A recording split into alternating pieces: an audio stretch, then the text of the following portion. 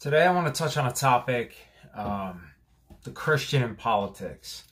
Uh, this is a time in my life, I can't remember more division in this country, in the United States, um, and all over the world. I think it's not just unique to the United States, but um, a lot of times I hear Christians aligning themselves with one political party or saying, if you don't vote for this candidate or this person, um, are you even Christian? And I think that's absolutely ridiculous. I think if you look um, in the life of Jesus, and we will today, uh, politics was not a big part of his ministry. Now, he could have had a lot of opportunities to talk about politics, and he did not. He actually specifically, and we'll see examples here, he didn't take the bait when he was asked to talk about politics. And I've heard otherwise. I've heard that you know the bringing in of the kingdom was political, um, and I don't believe that it was. I believe he, Jesus was very clear that his kingdom was not of this world, and it really had nothing to do with the politics of the day, uh, but it had more to do with the kingdom of heaven.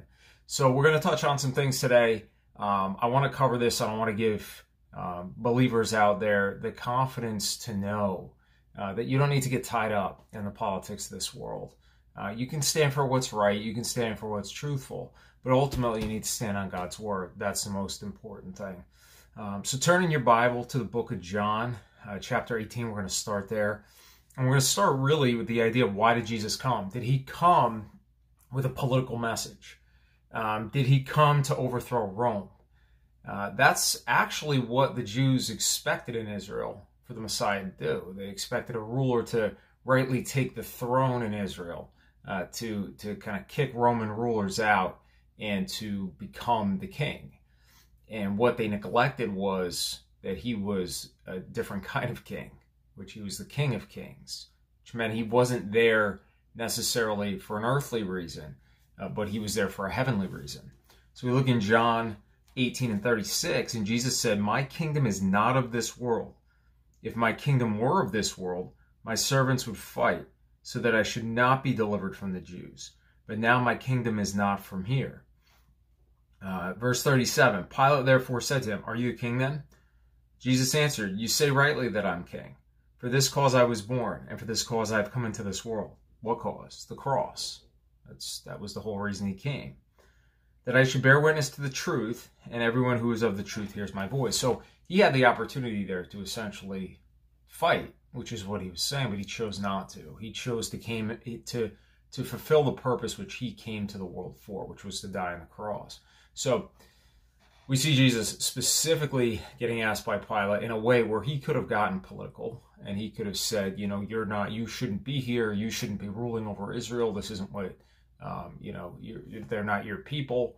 Uh, but he didn't. He didn't take that opportunity. He took the opportunity to actually preach the kingdom of God and say he came here for the truth and he really came here to go to the cross. And that's what I want believers to take away is that um, the kingdom is not of this world. This world is passing away. You need to understand that uh, this world is not going to be here forever. And if you are tied to this world and all its things and all the earthly cares and all the earthly goods, um, you are not storing up for yourself treasure in heaven. And if your mind is constantly taken with what's going on politically in this world, uh, it's really going to take your mind off the Word of God. You know, I've seen that um, even personally. You know, just it's so easy to get wrapped up, and I understand when you do.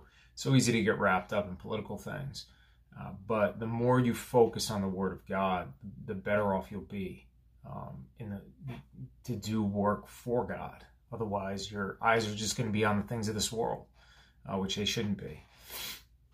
All right, so Jesus came to die right? I think that's pretty clear. He came to um, bring God's kingdom to this earth. And what does he mean by that? Well, when he died on the cross, he allowed people to enter in relationship with God, um, you know, humans who are on this earth. And now they can.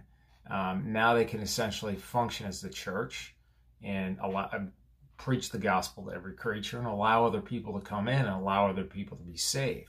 That's why he came. He came uh, to die to allow man to be in relationship with God. So what did he say about earthly rule? So obviously he was on this earth, but he wasn't of this earth. Um, but what did he say about it? What did he say about being here, trying to coexist, right? Because I think that's the difficulty that most Christians come into is they are in this world but not of this world. What does that mean? Well, they're physically here. You and I are physically here, but we're not of this world system, right? We're not of the things in this world that are passing away. So I think the best um, example is when Jesus is asked about uh, paying taxes to Caesar. So if you go to Matthew 22, this was another place that Jesus could have been trapped in a political discussion, but was not. Chose not to be. Right? I mean, I, you might want to take that as an example. So 22 and um, verse 17. So these the Pharisees were trying to catch him. They were trying to trap him, and that's what a lot of people do to Christians too about certain topics, certain issues. Um, what do you feel about this? What do you feel about that? Um, trying to trap them, trying to trap them to be against something or come off as hateful. When all you need to do is point the truth out. If you keep just pointing to the truth, you'll, you'll do a heck of a lot better than trying to refute everything that the world is throwing at you. And that's what Jesus did. So, uh, verse 15, we'll go 22 and 15, Matthew. Then the Pharisees went and plotted how they might entangle him in his talk. So they were trying to trap him. And they sent to him their disciples with the Herodians, saying, Teacher, we know that you are true and teach the way of God in truth, nor do you care about anyone, for you do not regard the person of men. So trying to flatter him here, right? Um, and God is no uh, respecter of persons. Tell us, therefore, what do you think? Is it lawful to pay taxes to Caesar or not? Because, um, so if he said yes, they were trying to trap him, like, okay, well, you know, this man is not of God this he's just an earthly person like anybody else who's you know obeying Caesar. Or if he said no, then they could try to trap him for overthrowing uh, Roman rule. Jesus perceived their wickedness and said, Why do you test me, you hypocrites? So they didn't care. They were just trying to trap him. They didn't really care about the answer. Show me the tax money. So they brought him a denarius. And he said to them, Whose image inscription is this? And they said to him, It's Caesar's. And he said to them, Render therefore to Caesar the things that are Caesar's, and to God the things that are God's. And when they had heard these words, they marveled and left him and went their way. So, um, there's not much that Jesus says about earthly rule. Uh, but this, he, he specifically refused a political debate here, did not um, get into it with them and basically said, Who made the coin? Who's on the coin? Well, give it to him then. Right? And it, it didn't mean necessarily, like all things come from God. All provision comes from God. All money comes from God. Um, but, you know, this was a coin that had somebody's face on it. And it was kind of meaningless in his eyes. So he said, Give it to him. Right? So uh, he wasn't trying to get trapped in the idea of, you know, where this money should go. Uh, but more so, he was just likening it to an earthly good um, that could go back to Caesar. You know, he knew and he had already shown the disciples that he would provide for them. Uh, and it's, you know, throughout the Word of God where he provides the, uh, the coin in the mouth of the fish, he provides the bread and fishes. So we know already that provision uh, comes from God. So this specifically here um, was to, you know, mainly avoid any political debate, but then also say, yeah, I mean, if you're living in a land, right, and there's taxes due, pay the taxes. Okay. Um, you know, we see that even in Romans 13, like there's a kind of a, a in-depth explanation that Paul gives uh, about like earthly governments and how we're supposed to react with earthly governments. Uh, Romans 13 and 1 through 7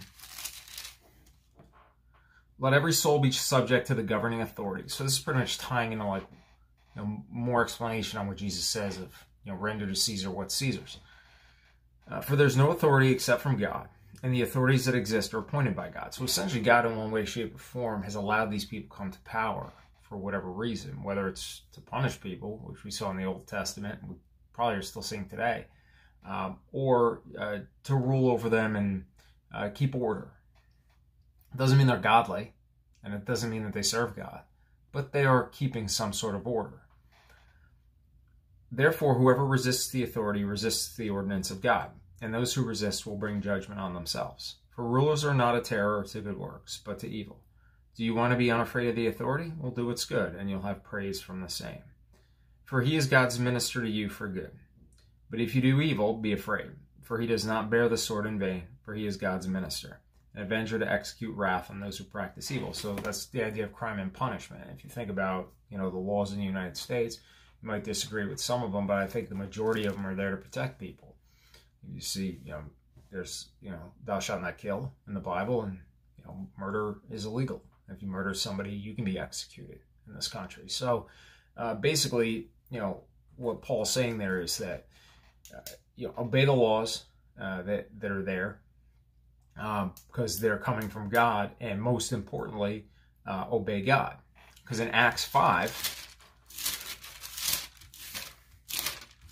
right, we see that the most important thing uh, really is is to obey God in all of this. So Acts 5 and, and 29, but Peter and the other apostles answered and said, We ought to obey God rather than men. So that's when they were on trial and, uh, you know, they got in trouble for healing. But uh, really, what they're, they're saying here, when there's a conflict, when there's an issue between man, what man's saying and what God's saying, obey God. Um, but pray for our leaders. You know, we're not here to um, call condemnation down on anybody. We're here to pray for anybody in the unsaved world. Uh, and in 1 Timothy, go to 1 Timothy 2 and 1.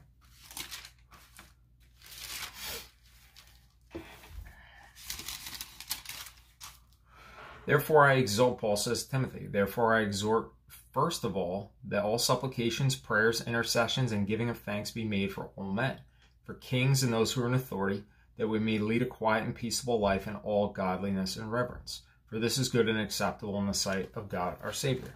So, you know, pray for them. Pray for people in power. Pray for anybody who's not saved. Pray for people who have a lot on their plate. There might be um, leaders, politicians that you don't agree with right now, pray for them. Try to pray for them to get saved. Pray for them to to see uh, what God's will is um, in this world to lead. Uh, but politics is really the world system. The gospel is the cure. People are wondering. We have this this problem in our in our world. We have this division in our world. What's the answer? The answer is the gospel of Jesus Christ. It always has been. And it always will be. So don't try to think of any other method or any other uh, thing that can help mankind, uh, because ultimately that's what it all boils down to. Anything else without the gospel is meaningless.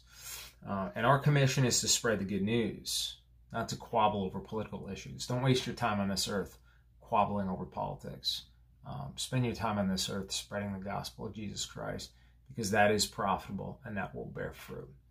Uh, thank you. I hope this blessed you today, and I hope it uh, gave you some kind of perspective as to where you should be spending your time and effort as a Christian.